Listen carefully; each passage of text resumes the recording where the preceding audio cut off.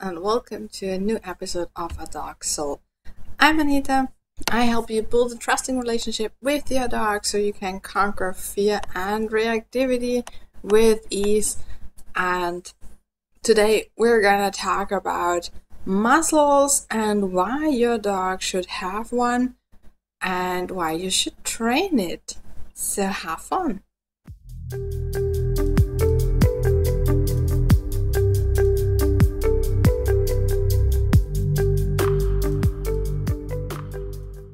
Alright. So a muzzle is something some people really see as a problem still and something that's very aversive towards a dog and something a dog cannot like because it's a metal thing in its face and it makes him look dangerous and all those stigmata that are just not really true, but some of them actually help our dogs. So, here is what a muzzle is for your dog it's a foreign object, and of course, if you just put it on and your dog has never seen something like that before, it's very weird and your dog will probably not like it very much. So, of course, with a muzzle, like with every other foreign object we want to put on our dogs, like a harness or shoes when you live somewhere where winter is very cold or summer's very hot and you have to walk some pavement and stuff like that or whatever. So whatever you want to put on your dog, you have to introduce to your dog properly and you have to teach your dog how to wear it comfortably. And of course, for the dog to be able to wear it comfortably, it has to fit your dog properly. So you have to. Sorry, guys, my dog just stood on the table. It was very funny. okay. Um. Yeah, you have to find something that's very good fitting and for harness, we all know that.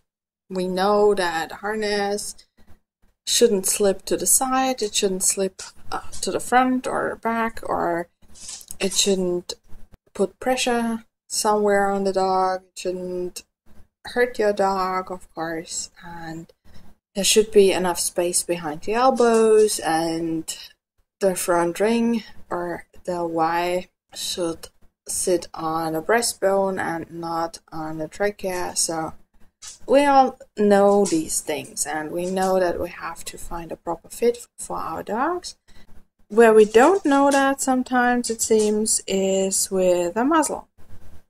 Because people just put muzzles on their dogs that are absolutely, yeah, unacceptable. And the dog shows that, of course. Those are dogs who constantly try to get the muzzle off with their paws or rubbing against someone or rubbing against the floor and they cannot behave naturally with it on and stuff like that. And yes, of course, there are dogs like my Sammy who are just hypersensitive and they cannot act naturally when they have a muzzle on. It's just not possible, no matter how much you train, because it is a foreign object, and yeah. And for Sammy, took him about two years, two three years, to be comfortable in a Y-shaped harness. So yeah, and harness is a little easier because it's not in the face. So yeah. But let's be honest, there aren't so many hypersensitive dogs. And most of the dogs who just aren't comfortable wearing a muzzle either haven't learned how to wear a muzzle or they have a muzzle that just doesn't fit.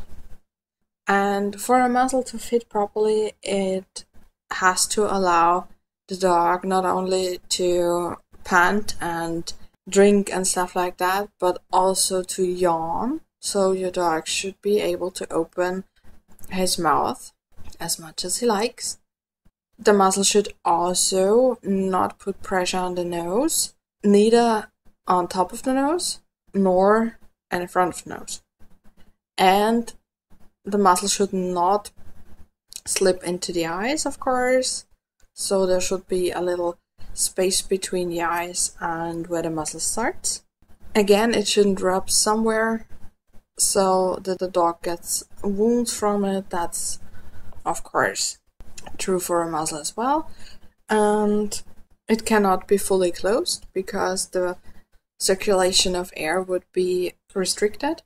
And for some dogs, an additional strap on the forehead is necessary because otherwise the muzzle just slips off. It's especially for very short nosed dogs. And of course, if you have a dog who would bite and you need the muzzle for bite prevention, it can only be metal. And there are some forms that can fit your dog and some forms that cannot fit your dog. For example, if a muzzle is deeper at the neck than at the front, your dog cannot open his mouth fully. It's just physics. You can just try it out with your hand. A muzzle, a well fitting muzzle, should be either box shaped or deeper at the front. So your dog can just open his mouth and yawn or drink or whatever he wants to do. And if you have a fitting muzzle, then of course you need to train your dog. So your dog has to learn that putting his nose into the muzzle is something very, very amazing, and whenever he does that, great things happen. And if you do that small step, but in a way that's fun for you and your dog, it's not really a big deal. It can be such a fun game, and your dog can learn that, for example, whenever he puts his muzzle on, you go outside and have fun. Or whenever he puts his muzzle on, you do a little trick training. Or whatever. If your dog can do a little search games with the muzzle on, you can do that. If you have uh, poison prevention thing you built into the muzzle so your dog cannot eat from the ground. You can do anything else. You can just um, let your dog, for example, find different smells and show you which one is the one you wanted and you reward him and stuff like that. So you can do almost everything with a muzzle on. And especially with trick training, it's very important to exercise this with your dog because whenever you need a muzzle at the vet, you will need the exercises again. Like, for example, sitting down, standing up, being held, lying down, lying on the side, stuff like that. Or showing a cooperation signal, whatever. All those things have to be trained with a muzzle on as well as without because your dog will make the connection only if you train it. For your dog, this is a totally new situation, and your dog doesn't really know what you expect from him. So, everything you like your dog doing, you can mark and reward, or you can praise, depending on how far you are in the training. And there can always be a situation where you need your muzzle. For example, we have here a situation where a muzzle is mandatory in public transportation and taxis. So, for example, if my dog needs to go to the vet, and of course, that's exactly the day where my car doesn't work, then I have to bring him to the vet somehow else.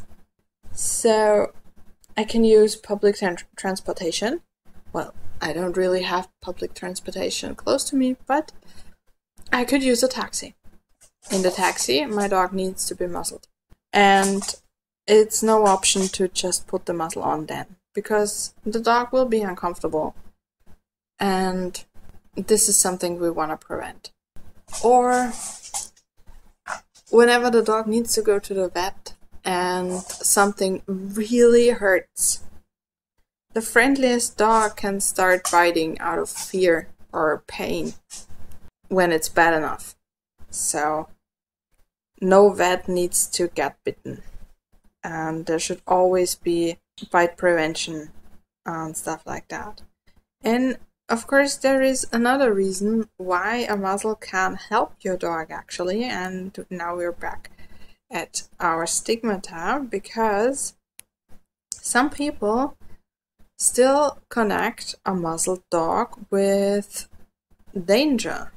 So, whenever a dog is muzzled, that dog has to be dangerous and they will give you more space.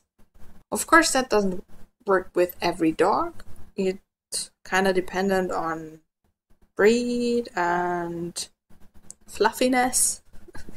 like, Sammy is extremely fluffy and very, very cute, and people don't take him for full, even if he's growling and snapping at them. So, yeah, muzzle doesn't help really, but for every dog that's not like him, just a little bit taller, just a little bit darker, just a little less fluff, a muzzle usually helps a little bit with that. And in some situations where you really need a muzzle because your dog would try to bite people or other dogs or stuff like that, the muzzle can also give you a sense of security and freedom in training. Of course, we don't bring our dogs in situations they can't handle, but there is always a possibility for something to happen when we didn't expect it or where we didn't expect it. And if you know your dog would bite. Any other animal, a muzzle gives you a little bit more security and of course a sense of security. That's very important. And it just makes a nice feeling and it makes training a little bit more relaxed and you feel more free. So there is nothing bad happening with a muzzle and especially for dogs who need it on a regular basis it has to fit awesomely and it has to be trained properly. So, of course, if you need help with that, I would be very glad to help you and see how we can get your dog to like his muzzle very, very fast. And yeah, if you have any questions, don't be shy. Write me an email. And if you like this episode, rate and review it. And I would love to read from you. I wish you an amazing time with your dog. I wish you an amazing time with training a muzzle, and we'll see each other next time. Bye.